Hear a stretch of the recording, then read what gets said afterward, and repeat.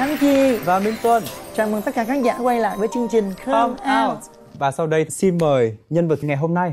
Sau khi lên cấp 3 thì em quyết định come out và không thiện cảm và họ ăn hiếp em kiểu như bạn học của em á. Dạ đầu em xuống này. Đánh em á. Dạ đúng rồi đánh em. Tức là đi về hết là nhốt em khóa cửa ngoài lại. Đến khi chú bảo vệ thấy chú bảo vệ mới mở cửa cho em. Xin mời em. Em chào anh chị, em là Ngọc Anh, năm nay 21 tuổi là nhân viên kinh doanh tại à, công ty Daiichi Việt Nam. Từ khi mình còn nhỏ đó thì Ngọc Anh có phát hiện ra là mình có gì khác biệt với các bạn của mình không? Từ khi em 2 tuổi á, em đã nhận ra được cái sự khác biệt trong cơ thể của mình rồi. Như chị Chi cũng biết ai cũng có cái khao khát được sống với bản thân mình. Thì lúc còn nhỏ em đã nhận ra được cái sự khác biệt rồi. Nhưng mà em không dám thể hiện ra bởi vì em sợ mọi người kỳ thị. Sau khi lên cấp 3 thì em quyết định come out và không bỏ qua tất cả Em come out gia đình từ khi cấp 3. Em come out với trên trường trước. À, trên trường. Dạ, rồi mới về dám với nói với mẹ sau. Rồi khi em come out như vậy thì bạn bè của em hay là thầy cô của em đối với em như thế nào? Mới đầu tiên come out á em cũng tới gần 80 kg là cũng mập lắm. Chỉ có khao khát làm gái thôi mà mình chưa có làm gái bao giờ cả. Thì nhìn nó không có được đẹp mắt kiểu hơi ờ, lố lăng nên là bạn bè thầy cô là thật sự rất là không thích cái điều không đó. thiện cảm dạ, không thiện cảm và họ ăn hiếp em. Thì coi như em là cái trò vui của họ. Ăn hiếp cụ thể là như hiếp em như thế nào? Kiểu như bạn học của em á dạ đầu em xuống này đánh em á dạ đúng rồi đánh em. Phá tự hết. nhiên đánh em hay đúng sao? rồi đúng rồi chị. Kiếm chuyện đánh em dạ hả? đúng rồi cứ thấy mình là người ta chọc phá mình để người ta quýnh mình thôi. Xong rồi cứ dục hết đồ của mình rồi em đi lúc đó em học cấp ba em có đi xe đạp. Thì mấy bạn gỡ cái in xe đạp của em đi dục đi rồi nhốt em trong phòng. Cái nói chung là nhốt em trong phòng phòng lớp học á dạ đúng rồi. Tức là đi về hết là nhốt em khóa cửa ngoài lại đến khi chú bảo vệ thấy chú bảo vệ mới mở cửa cho em. Sao em la lên? Thì có em la lên nhưng mà tại vì không ai bảo vệ mình hết trơn cả cả nhóm trong lớp đều dạ, đồng lòng với nhau để nhốt em đúng không? Dạ. chứ không ai đứng binh vực em dạ. gì. Tại vì lúc đó thì chuyển giới là cái việc gì nó còn khá xa lạ lắm. Ừ, sau một năm này em chuyển lớp em chuyển ban luôn em chuyển khối học tại vì lớp 10 em học uh, chuyên toán lý hóa sinh là chuyên AB á. Xong có lớp 11 thì em chuyển qua toán lý Anh văn là khối xã hội. Rồi cái việc bắt nạt đó nó kéo dài bao lâu em? Cái việc đó kéo dài tới hết năm lớp 10 luôn. Thậm chí là hồi đó em đi học em có son môi nữa. Thì xong thầy thầy cô ra cái lịch cấm luôn. Cấm là học sinh toàn trường không được ai son môi là bởi vì em đi học phụ huynh là cấm luôn. Và lúc đó có mẹ em đi họp nữa. Thì cũng nói thẳng ra luôn là tên em luôn.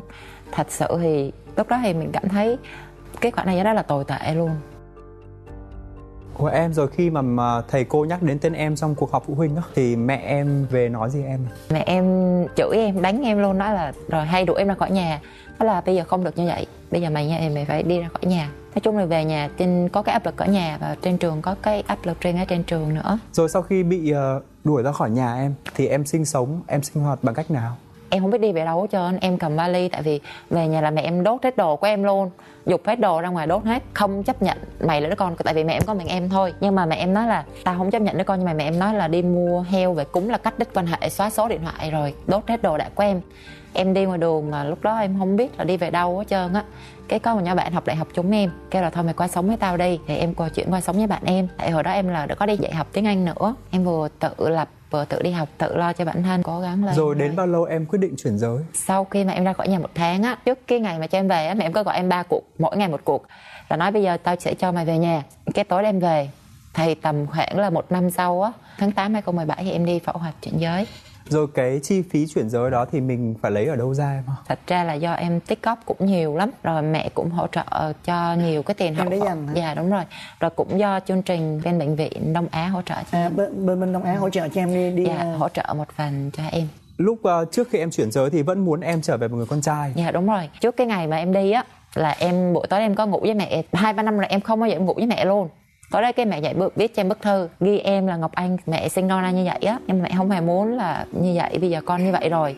Thì mọi cái quyết định của con con phải tự chịu trách nhiệm. Lúc em đi phẫu thuật, tại vì phải có người đi theo chăm sóc. Ngày hôm sau em lên bằng mẫu là em gọi cho mẹ, kêu là, mẹ ơi, thôi, bây giờ con đi phẫu thuật rồi mẹ lên chăm con nha. Tại vì lúc mà em phẫu thuật á, là mẹ không có mặt ở đó được, tại mẹ đang có việc bệnh. Thì xong đến khi mà em phẫu thuật xong là đến tối á, lúc em mới về ra là mẹ mẹ chạy lên. Thì lúc đó em em không có cử động được nhưng mà em thấy cái mặt của mẹ em với lại ba của em á, thấy tội em á, thấy thương. Tại vì ba mẹ em thấy con mình máu nghe cũng sự thương hết. Em chỉ nhìn được cái vậy thôi. Em nói ba mẹ cái em lại ngủ quên đi. Xong rồi thì mẹ chăm sóc em từng ly từng tí luôn. Kể từ đó thì mẹ chấp nhận em, gọi là trăm phần trăm. Đến cả bây giờ thì mẹ là yêu thương em. Mẹ em luôn coi em là một đứa con gái bình thường hết.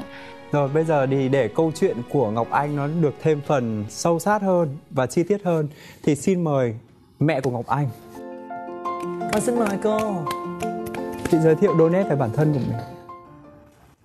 À, thì thông qua cái chương trình này á, thì nói chung là chị á, thì có một mình Ngọc Ảnh à vậy là mẹ đơn thân thì cũng nghĩ là hy vọng Ngọc Anh lớn lên á thì mình cũng nói chung là mình đừng có làm gì cho gia đình cho xã hội nó ờ, được tốt đẹp tức là từ nhỏ Ngọc Anh thì con trai lên lớp 10 á, là Ngọc Anh có xu hướng là chuyển đổi giới tính.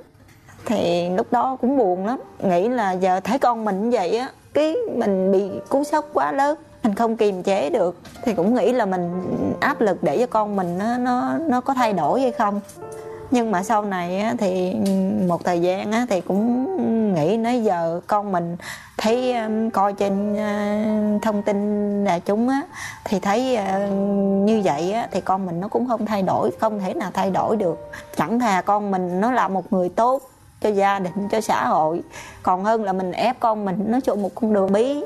Bây giờ thà mình có con còn hơn là vợ mình ép vô thì vô tệ nạn hay là cái gì nữa thì con mình nó cũng khổ. Mà mình cũng là một cái gánh nặng mà xã hội cũng là một cái gánh nặng cho xã hội nữa. Nhưng mà cho con hỏi là lúc từ nhỏ tới lớn là cô cũng không biết ngọc anh như vậy luôn hay? Nhỏ ngọc anh rất là ngoan đi đâu ai cũng thương lắm. Thì chỉ có năm cấp 2 tức là cấp 2 tức mẹ đi làm thì con đi học. Tất cả là cô dồn về cho ngọc anh học hành. Tức là cô đi làm cô phải làm thêm ngoài giờ để mà cho ngọc anh đi học ngoại ngữ bên đêm.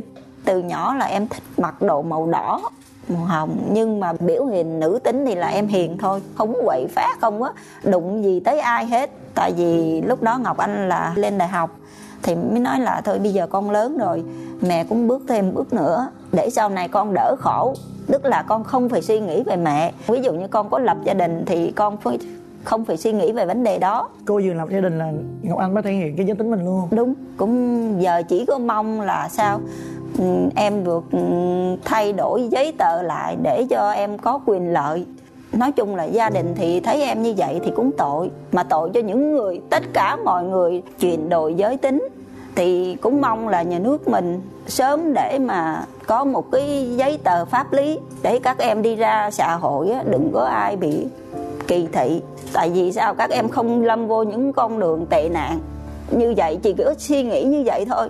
Tại vì các em rất là giỏi. Cái đó cũng là trăn trở của tất cả những người trong cộng đồng LGBT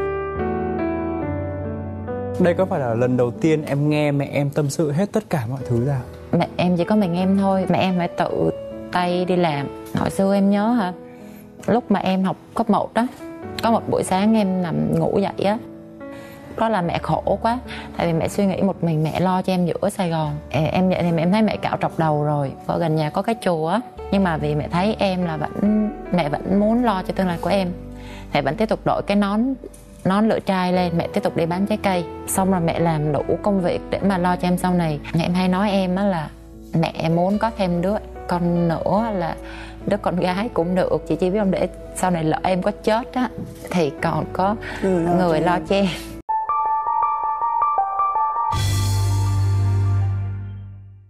rồi à, em đã phải trải qua một cái quá trình chuyển giới khá là đau đớn. Hồi đó em mới vừa bước ra đời à. em mới có học đại học năm 2 thôi. Chuyển giới đâu có dễ đâu. Trước khi mà phẫu thuật em hay bị nằm mơ là em không qua nổi. Mà em phẫu thuật là phẫu thuật đại phẫu luôn.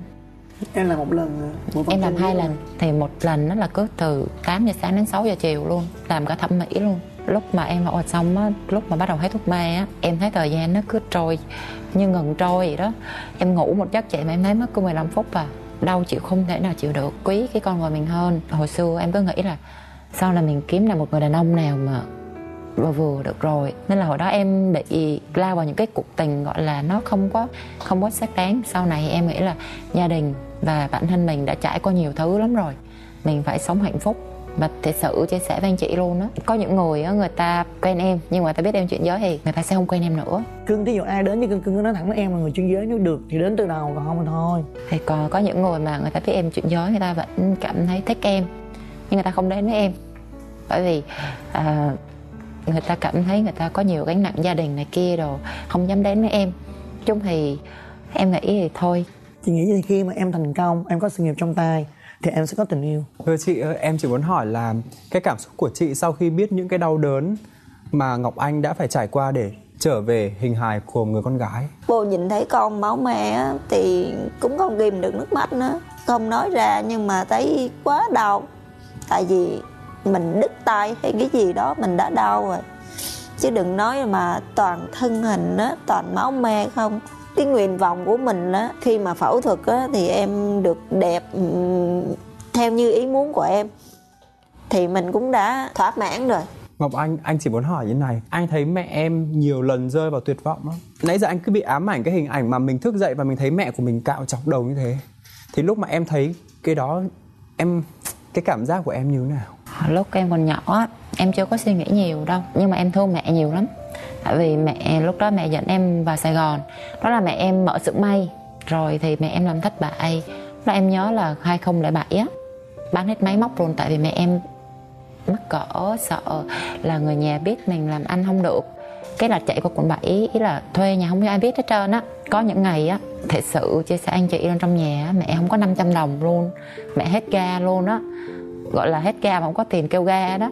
Tại vì lúc đó là gọi là vỡ nợ mà. Xong mà mẹ thấy khổ quá. Ba ruột em thì thường là chỉ đi ừ, với những người gái xinh đẹp thôi.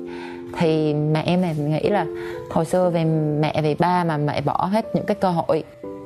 Tại vì hồi xưa mẹ em đẹp lắm. Mẹ em vì nuôi em là mà bao nhiêu người đàn ông á ta đến trước mặt mẹ em, ta có thể quỳ xuống ta nói là sẽ thương em như con em nghĩ là không được phải một mình nuôi em. Tại vì nếu lập gia đình sẽ không thương em được. Xong mẹ nghĩ là khổ quá rồi.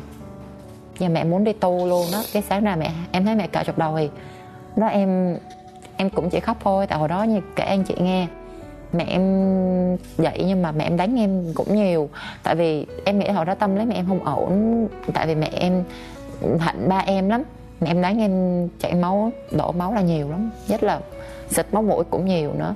Sau mẹ tức em biết trong tâm tâm mẹ vẫn thương em. Em ở trong xóm mà còn nhỏ trong xóm mấy đứa con nít đó nó cũng hay chọc em là à, VD này kia nó quýnh em xịt máu mũi luôn.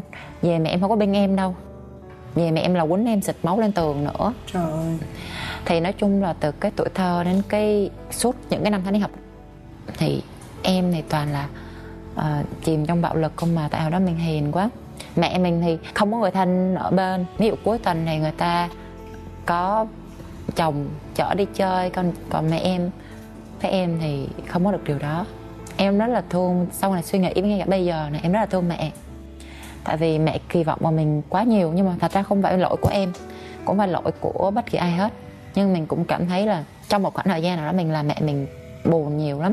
Nói chung tất cả mọi người đều sĩ diện là nhiều sĩ diện với lối sớm sĩ diện với dòng họ sĩ diện với lại bà con mà này mà đối xử với con mình như vậy mà mà trong lòng mình không biết.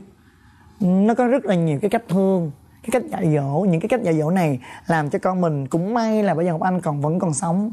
Chứ lỡ may mà vô cái đường cùng như vậy thì ngọc anh sẽ không còn sống thì cái vấn đề này nó sẽ buồn hơn. Không, thì em nghĩ á, nếu mà mình nói qua thì cũng phải nói về ấy chị. Tại vì bản thân mẹ Ngọc Anh á, đã trải qua quá nhiều cú sốc ở trong cuộc sống của mình đi. Nên đôi khi á, khi mọi mọi chữ thứ nó ập tới á, chị cảm thấy là quá bất lực không biết phải giải quyết như thế nào nữa.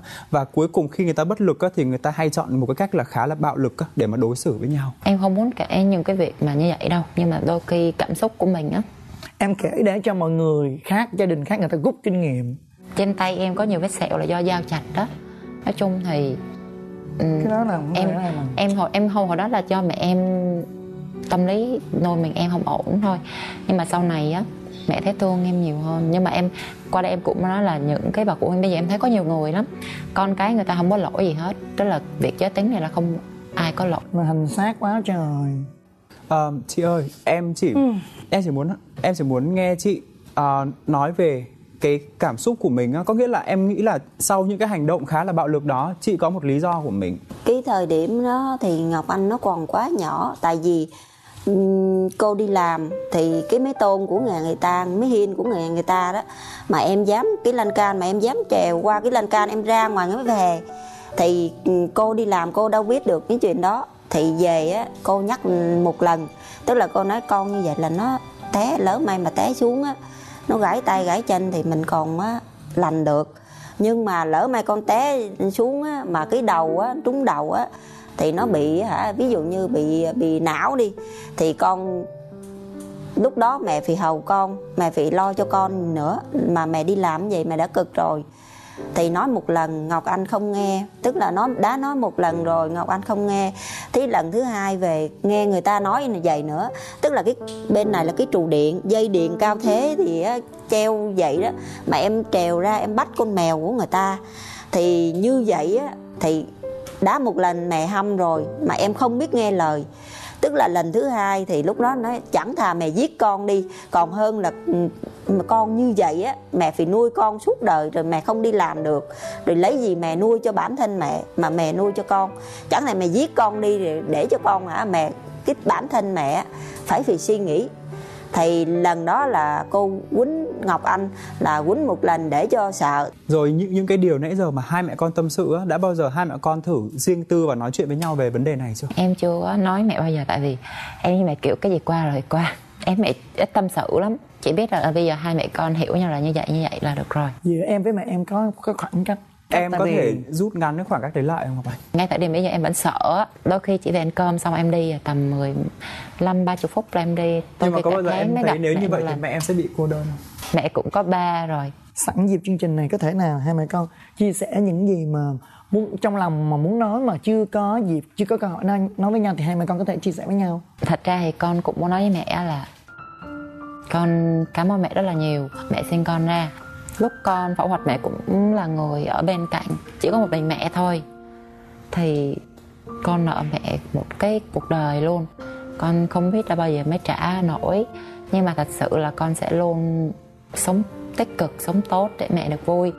Tại vì mẹ em không có cần điều gì khác ngoài việc mà em sống tốt hết đó thì em, con cũng chỉ mong mẹ là thật sự hạnh phúc.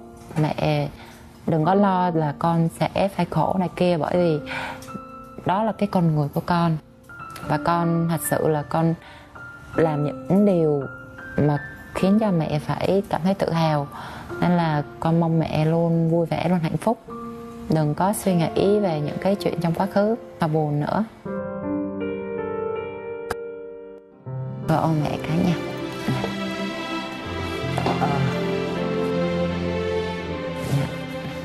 thật ra thì em ít khi ôm mẹ lắm Anh cũng đoán vậy. em có dự định gì trong tương lai của em không? Chị chi biết sao không? Ngay cả em nghĩ là cái này cũng mọi người đều mong ước luôn. Cái công việc của em á thì mọi người đều đối xử em bình thường hết.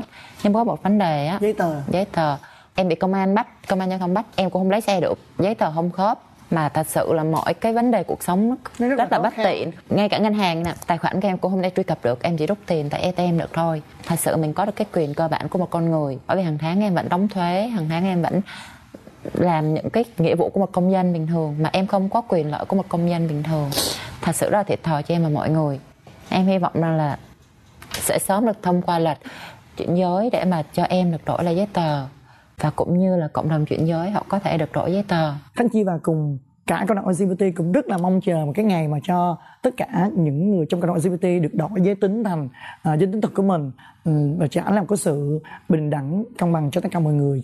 Và đã chịu rất là nhiều đau khổ hy sinh tính mạng của mình để được sống với chính mình. Cảm ơn Ngọc Anh và cảm ơn mẹ đã đến đây và chia sẻ câu chuyện nhiều khi rất là khó để nói của mình. Và hy vọng là tình cảm giữa hai mẹ con sẽ ngày càng tốt đẹp và cuộc sống của hai mẹ con sẽ tốt đẹp hơn nữa. Và và Khánh Chi chúc cho hai mẹ con sẽ yêu thương nhau và hiểu nhau và à, gần gũi nhau nhiều hơn. Và chúc cho em thực hiện được ước mơ của mình và chúc cho bác nhiều sức khỏe. Dạ em cũng cảm ơn anh Tân và chị Chi luôn. Cảm ơn chương trình đã giúp cho em và mẹ có được một cái buổi nói chuyện Và cũng như truyền những cái mong muốn của em như của cộng đồng đến mọi người Cảm ơn anh. chị. Kamau bước ra ánh sáng. Đàn ông vẫn nghĩ là họ quen con gái cho đến Là khi họ yêu. gặp được người con trai của đời mình. Chương trình dành cho những người thuộc cộng đồng LGBT chia sẻ nỗi niềm chăn trở trong hành trình khẳng định bản thân. tại sao một người uống cà phê một người uống sữa lại có người uống cà phê sữa mà tại sao con gái con trai lại không có thể chấp nhận được cái giới tính thứ ba như mình? Em mới nói là bây giờ ba có đánh con hay ba có bắt con đi chăn trâu thì con dẫn được. Thì sẽ giống cuộc đời của tôi cái gì Và những người đang tìm kiếm cơ hội để chia sẻ, sửa chữa lỗi lầm. lỗi là do mình tại sao mình sanh con mình ra Chứ không phải là đứa con trai thật sự nó dần vặt rất rất rất rất nhiều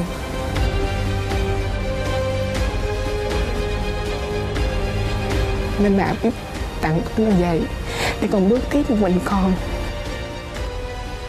Come out, bước ra ánh sáng.